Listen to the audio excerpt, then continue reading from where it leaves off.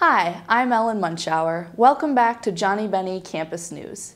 Easter break begins this Thursday. Both campuses will close at 8 p.m. and reopen at 9 a.m. on Monday, April 17th. Residents who will be staying on campus must have submitted a break stay request. This includes all international students, out-of-state students, and student athletes. There are only a few events this week with break coming up, including Edith Rylander and Larry Schug, Poetry in Place happening in the Pottery Studio from 4 to 6 p.m. on Wednesday, April 12th. This event offers a unique opportunity to hear and converse with two central Minnesota poets that study their human and ecological communities. The reading and discussion will focus on their shared theme of attachment to place. Those who wish to attend are asked to RSVP. From 12:30 to 1:30 p.m. this Tuesday, April 11th, in Simons 136, join the McCarthy Center for a viewing and discussion of a TED Talk on college loans. Also on Tuesday is the Student Employee Appreciation Carnival, happening in Gorecki 204 from 2 to 5 p.m., sponsored by the Student Employment Leadership Team. This annual event is open to all students with campus jobs and has games, food, and drawings for prizes. All students that show their student ID at the door are entered in a drawing for a Samsung smartwatch. For FAE opportunities this week, the percussion ensemble will be performing at 7.30 p.m. on Monday, April 10th in the Escher Auditorium. Although there are only a few events on campus, there are plenty of Blazer and Johnny games happening this week. We go now to Austin Salmon to catch us up with this week's sports segment. Thanks, Ellen. This week in Johnnie Bennie Sports, Johnny Baseball is coming off a four-game win streak after this past weekend's games. The Johnnies are set on continuing this win streak while facing Hamline University on April 11th. The Blazers softball team is having a very impressive season thus far, sitting at a record of 19 and 5. The Blazers are also looking to continue their four-game win streak against Augsburg on Tuesday as well. At the time of this recording, the CSB tennis team is, has a 9-9 record and is now ma matching up against Carleton College.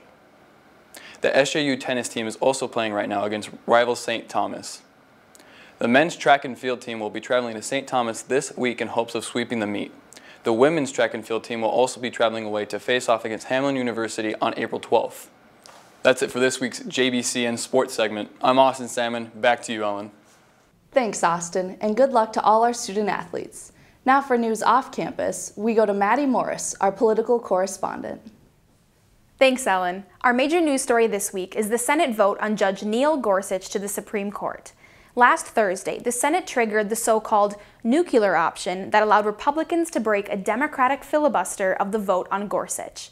According to the New York Times, Republicans needed 60 votes, which meant at least eight Democrats and independents had to join their 52 seat majority to end debate on the nomination and proceed to a final vote.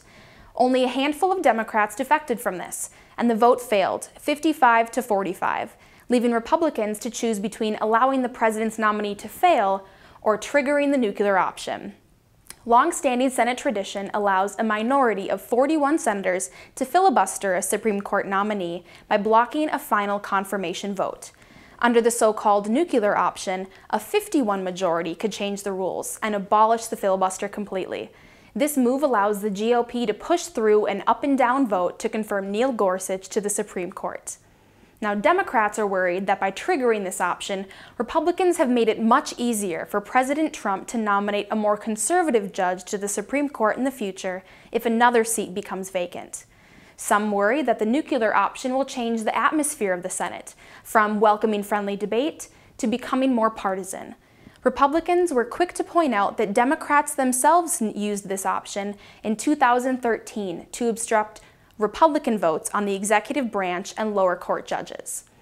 Ultimately, the Senate voted 55-45 late Thursday morning to cut off debate, four votes more than needed under the new rules, and they moved to a final vote on Judge Gorsuch's confirmation Friday evening, with a simple majority needed for approval. That's all we have for this week. Check back next time for your political update. This is Maddie Morris reporting for Johnnie Bennie Campus News. Back to you, Ellen.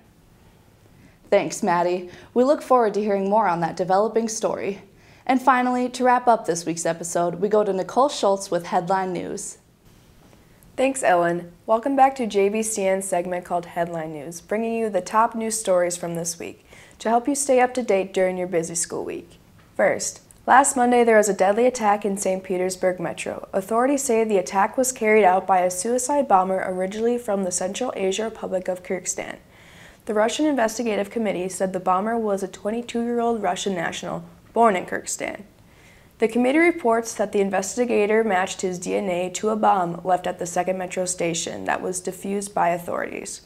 The Russian Health Ministry on Tuesday raised the number of dead from 11 to 14. It was unclear whether the number included the attacker. Four of the injured are in critical condition, according to the Russian health minister. In more global news, at least 70 people have been killed in a suspected chemical attack in a rebel held town in northwestern Syria. Hundreds suffered symptoms consistent with reaction to nerve agent after what the opposition and Western powers said was a Syrian government airstrike on the area last Tuesday morning. The Syrian military denied using any chemical agent, while its ally Russia said an airstrike hit a rebel depot full of chemical munitions. In local news, April marks Distracted Driving Awareness Month, and multiple law enforcement agencies are hitting the streets this month in effort to combat the rising problem. In part to eliminate enforcement confusion, there is a hands-free bill that moved through the legislation aiming to ban all cell phones behind the wheel for everything, even phone calls.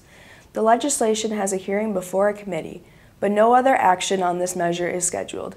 The sponsor of this bill says he will try again in the next session. The fine for distracted driving right now in Minnesota is $225.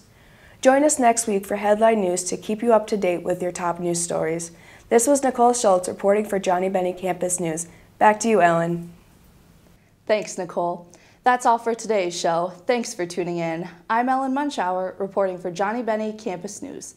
Enjoy your break and make sure to tune in next time.